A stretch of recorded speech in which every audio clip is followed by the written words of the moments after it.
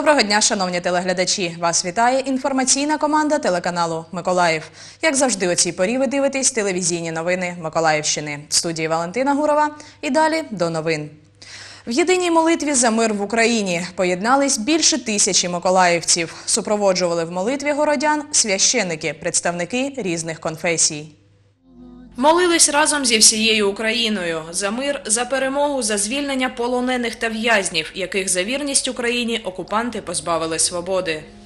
Дякую будь-якої людини, яка свідомо або несвідомо притикнулася сьогодні до нас поглядом, серцем, щоб ми сьогодні єдиними устами, єдиною душою, єдиним серцем звернулися до Бога і попросили мира в нашому розумі, миру в нашому в нашій душі, миру в нашому серці. Щоб нам дала можливість така все ж таки побудувати українську соборну, саме соборну неделиму, самостійну державу.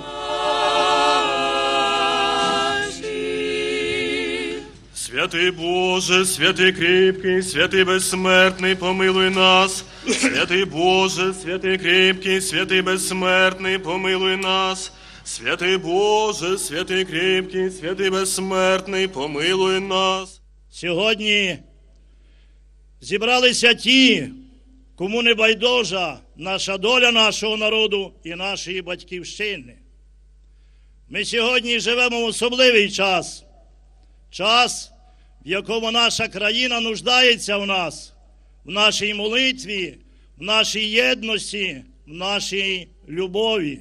Хто долучився до молитви, зазначають, що вірять в перемогу і моляться кожного дня за настання миру та за наших захисників. Я за єдину Україну соборний. І через те, що е, молитва допомагає зберегти душу. Молитва это всегда что-то такое духовное. Когда вместе люди собираются, то это, конечно, намного мощнее, это очень энергетика сильная. Ну, это каждый человек для себя решает, но ну, все равно надо как-то, ну, то, что у нас в стране творится, это неправильно. Что-то надо, ну, хоть так вместе объединяться, Валентина Гурова, Артем Белібов, Руслан Іванов, Богдан Іванов, Олександр Пан. Телевізійні новини Миколаївщини. І до подій на сході країни. Російсько-окупаційні війська за минулу добу 32 рази відкривали вогонь по позиціях Збройних сил України. Про це повідомляє прес-центр штабу антитерористичної операції. Найбільшу вогневу активність противник проявляв на Маріуполь- Маріупольському напрямку з мінометів калібру 120 мм, гранатометів та стрілецької зброї. Ворог вів вогонь по позиціях морських піхотинців у районі Павлополя.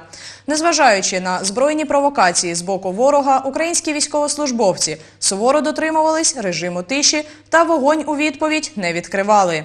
За добу поранено одного українського воїна. з мінометів калібру 120 мм, гранатометів різних систем, великокаліберних кулеметів та стрілецької зброї ворог вів вогонь по позиціях морських пехотинців в районі Павлополя.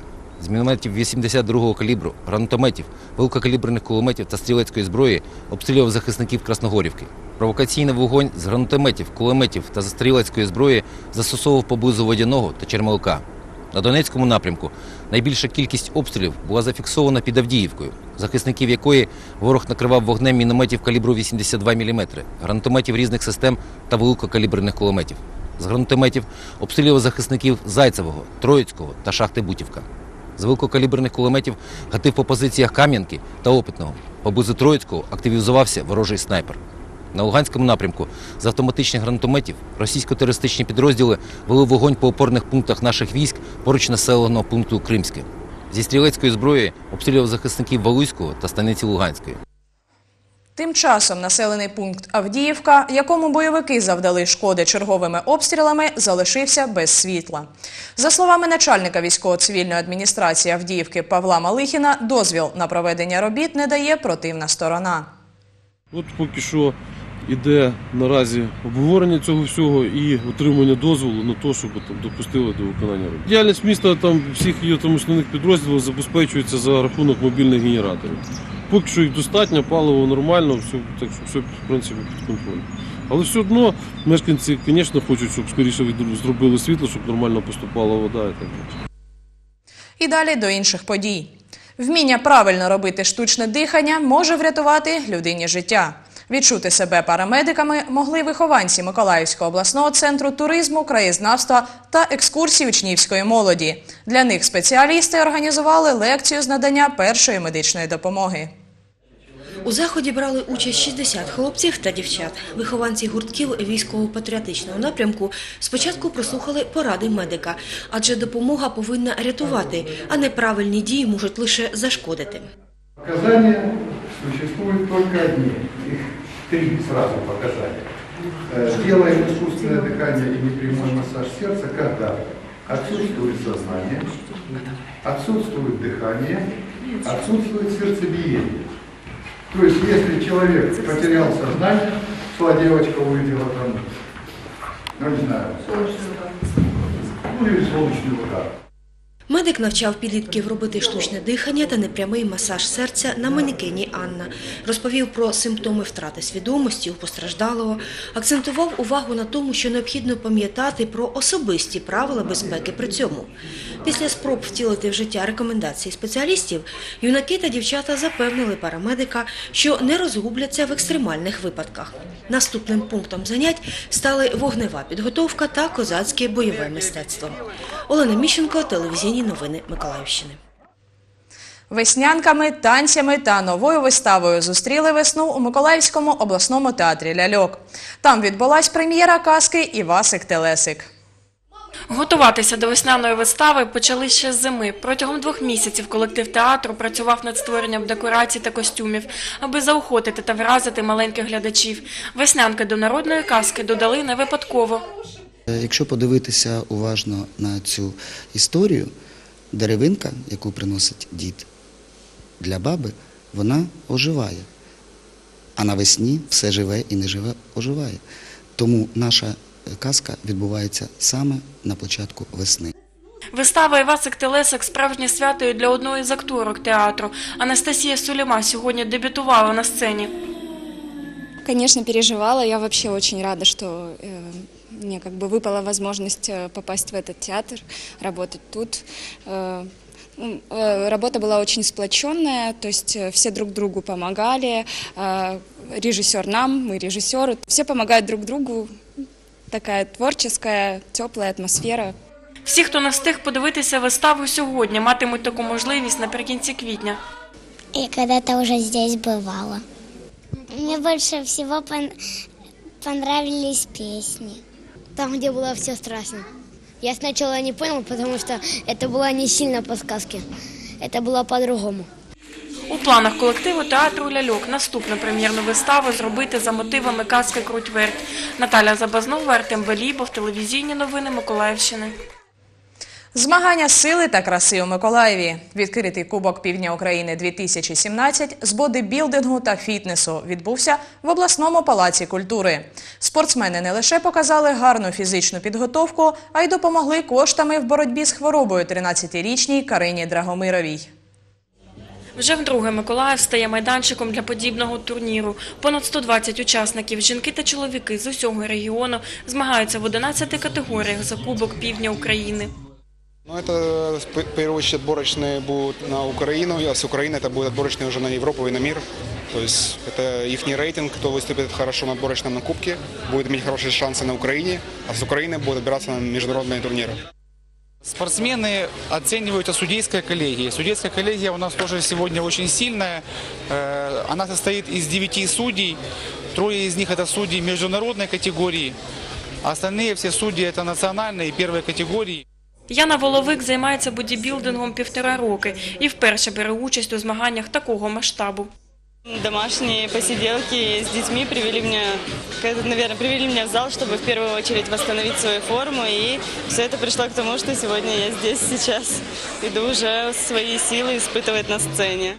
А для Владислава Шандуренка бодібілдинг – ледь не єдина можливість після травми повернутися до спорту. Во всех э, остальных видах спорта надо заниматься с раннего детства и не сворачивать с этой пути. А бодибилдинг это больше спорт возраста. То есть ты можешь прийти в 20, можешь прийти в 30. То есть, э, и достичь какого-то определенного однозначно хорошего результата. Захід відбувся під патронатом голови Миколаївської обласної державної адміністрації Олексія Савченка, який також є прихильником здорового способу життя. Це свідоме ставлення, це не просто красота. По напрямках спорту я можу багато чого розповідати, але ви самі знаєте. І динамічні спортивні там наші змагання. І сьогодні ці змагання це труд. І це дуже важко витримати. Організатори змагань мали на меті і доброчинні наміри. Всі отримані від продажу квитків кошти передадуть на лікування 13-річної дівчини з Миколаєва Кирині Драгомирової. А в майбутньому організатори відкритого Кубку Півдня України 2017 планують зробити Миколаїв майданчиком і для всеукраїнського турніру з бодібілдингу та фітнесу. Наталя Забазнова, Артем Клименко, телевізійні новини Миколаївщини.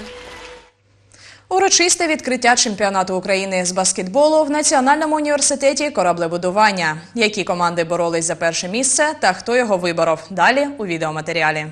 У фіналі гри корабелів приймали участь чотири команди серед чоловіків 60+, та жінок 40+. А турнір приурочили вшануванню пам'яті видатного професора, ректора та спортсмена Михайла Олександрова. Організатори пояснили, чому саме баскетбол, адже сам Михайло Миколаєвич професійно займався греблею. В первую очередь, потому что в баскетболе проявляется командный дух. Здесь не выигрывает один человек, а выигрывает вся команда. И Михаил Николаевич, он сумел сплотить вокруг себя настоящую команду ученых, инженеров, менеджеров, которые в те времена смогли делать великие дела, которые мы сейчас э, с радостью продолжаем. Організатори згадують, яким був Михайло Миколаєвич. Розповідають, чим займався цей веселий при житті чолов'яга. Это была неординарная личность. Неординарная, потому что э, в этом человеке все объединялось гармонично. И искусство, и наука, и культура. Он в совершенстве владел английским языком, он читал лекции в Лондоне, он э, писал картины, он играл на фортепиано. Команди з чотирьох міст України змагались за першість. Розповідають, що такої кількості учасників вже давно не було. В наших э, сегодняшнем турнире в 60 плюс чемпионате участвуют чемпионы мира, Европы, э, Лиги чемпионов, сборная Украины 70 плюс, сборная Ук- Украины 60 плюс, еще команды из Одессы, Житомира. И уровень этот очень высокий. Впервые еще уровень поднят тем, что две женские команды. Постараемся показать игру такого калибра, который соответствует его калибру. Ученого, корабела, художника и нашего учителя и друга. В запеклій боротьбі між жіночими командами з Києва та Миколаєва перше місце виборола київська команда Леді Легіон з відривом у 10 балів. Завтра дізнаємось результати гри чоловіків. Євгенія Голубова, Руслан Іванов, телевізійні новини Миколаївщини. І на такій позитивній спортивній ноті ми завершуємо наш денний випуск новин. Ми продовжуємо слідкувати за подіями в місті та країні. Залишайтесь з нами, бережіть себе та своїх близьких. До побачення.